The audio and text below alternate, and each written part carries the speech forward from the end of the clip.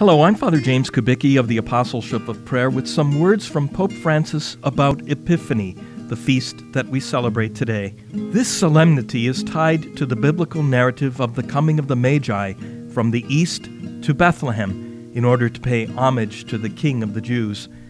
This feast lets us see a double movement. In one direction, the movement of God towards the world, towards humanity, the whole of the history of salvation which culminates in Jesus, and, in the other, the movement of people towards God. Let us think of religions, of the quest for truth, the journey of the nations toward peace, interior peace, justice, freedom. And this double movement is driven by a mutual attraction. What is it that draws God? It is love for us.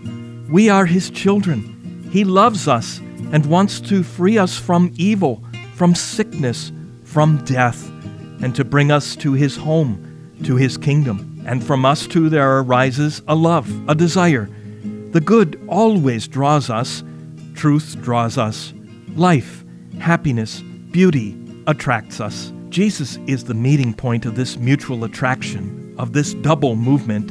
He is God and man. Jesus, God and man. The prophet Isaiah said that God is like the flower of the almond tree. Why? Because in that region, the almond is the first to flower.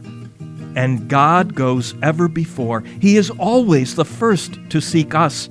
He takes the first step. God goes ever before us. His grace precedes us, and this grace appeared in Jesus.